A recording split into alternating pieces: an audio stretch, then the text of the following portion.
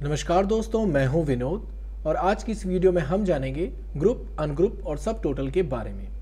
आपको जाना होगा डेटा टाइप के अंदर और यहाँ पर आप देखेंगे, आपका एक फ़ंक्शन है आउटलाइन का। आउटलाइन के अंदर आपको दिखाई देगा ग्रुप, अनग्रुप और सब टोटल का ऑप्शन। इस ऑप्शन का यूज़ कहाँ होता है, किस तरीके से इसका यूज़ किया जाता है, आज हम ये जानने वाले हैं। इसका जो बेसिकली यूज़ किया जाता है, वो मोस्टली एमआईएस रिपोर्ट के अंदर इसका ज़्यादा यूज़ किया जाता है।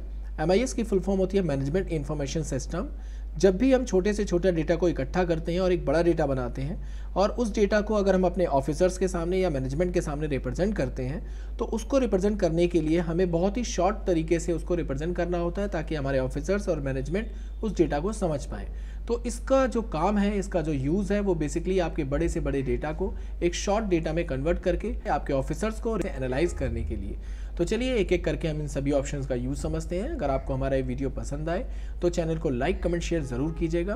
तो चलिए वीडियो को शुरू करते हैं। यहाँ पर आप देखेंगे, सबसे पहला फीचर हमारा ग्रुप का।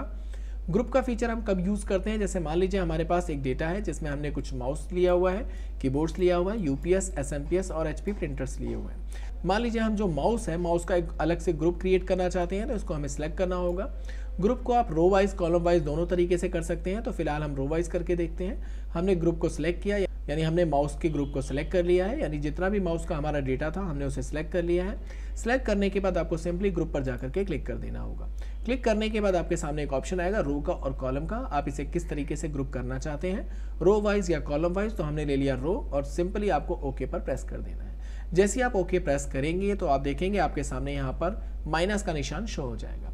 इस माइनस के निशान पर जैसे आप क्लिक करेंगे तो आपका जो डेटा था वो हाइड हो जाएगा। यानी जितना भी माउस का डेटा था, वो यहाँ पर आपका हाइड हो जाएगा।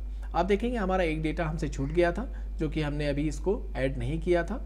तो इसको हम वापस से रिमूव करके दोबारा से ऐड करते हैं। इसके लिए हम यहाँ पर वापस से अनग्रुप पर क्लिक करेंगे।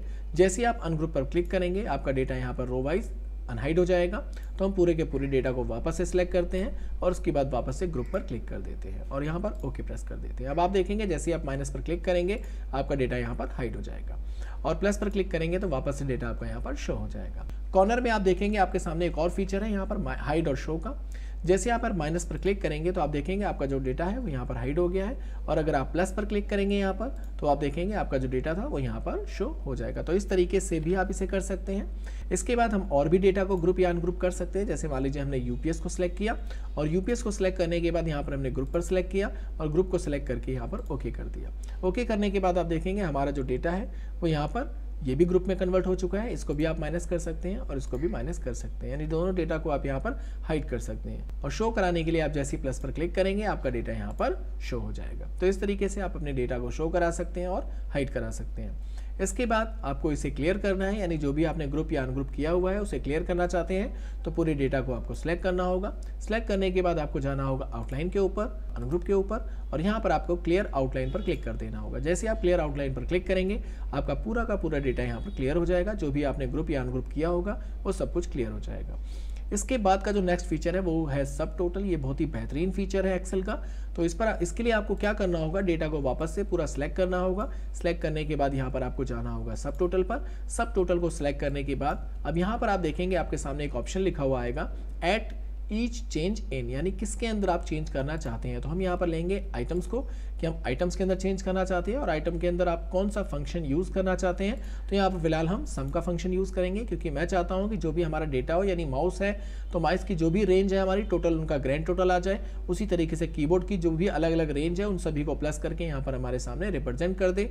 तो इसलिए हम यहाँ पर सिलेक्ट करेंगे सम को और यहाँ पर आपको प्राइस को सिलेक्ट करना होगा क्योंकि प्राइस को हमें यहाँ पर प्लस कराना है और सिंपली आपको ओके प्रेस कर देना है। तो आप देखेंगे आपका जो माउस का टोटल था वो यहाँ पर आपके सामने रिप्रेजेंट हो गया। 150, 130, 165, 180 अगर इन सबको आप टोटल करेंगे तो 625 ही आपका आंसर आएगा। इसी तरीके से आप देखेंगे यहाँ पर आपका सारा डेटा ग्रैंड टोटल में कन्वर्ट हो चुका है। उसी तरीके से अगर आप नीचे जाते हैं तो नीचे आप देखेंगे आपका ग्रैंड टोटल यहाँ पर आपके सामने रिप्रेजेंट हो जाएगा। यानी जो भी आपने टोटल किया है इन सभी का ग्रैंड टोटल आपके सामने यहाँ पर रिप्रेजेंट हो जाएगा।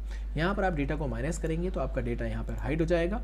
और इस तरीके से आप अपने डेटा को हाइड करके उनका ग्रैंड टोटल रिप्रेजेंट करा सकते हैं। इस तरीके तरीके से आप अपने डेटा में बता सकते हैं कि आपने जो टोटल परचेजिंग की थी माउस की, वो इतने की की थी?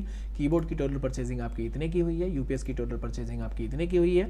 एसएमपीएस की टोटल परचेजिंग आपकी इतने की हुई है? और सबका अगर ग्रैंड टोटल हम निकालें तो यहाँ पर इन सबका ग्रैंड टोटल आपके सामने रिप्रेजेंट हो जाएगा।